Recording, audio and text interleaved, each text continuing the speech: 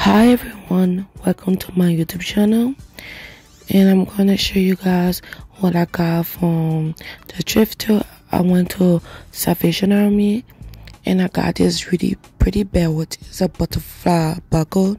I had to get it.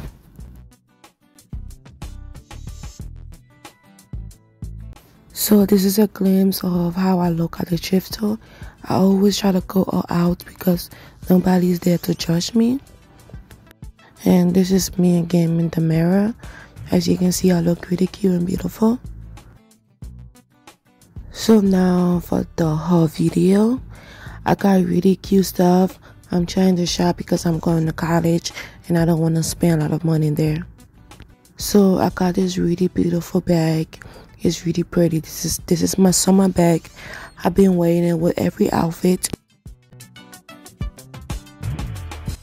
and this is the belt I got and this is a close-up of it. It's really pretty.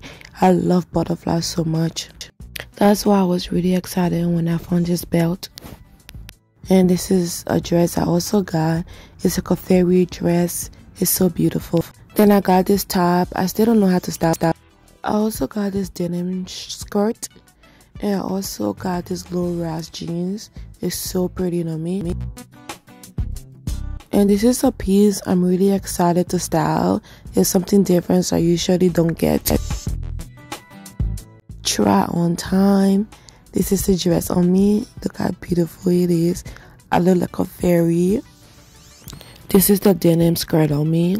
As you can see, it lift up at the back. And this is the blouse. It is so beautiful. This is one of my recent favorite pieces.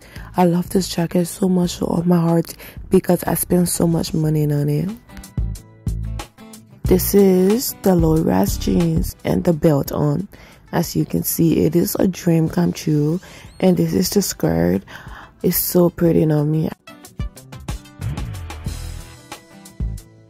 And I also got this tin top. It have love on it.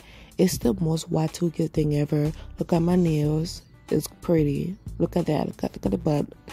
Gorgeous, gorgeous, gorgeous, gorgeous. And I also got this hat. It's really pretty. I was scared to get a hat because I have a big ass head. So, but it fit perfectly when I don't have my afro on. Pearl. Pearl. Well, I had so much fun thrifting and making this video. So thank you guys so much for watching. And peace out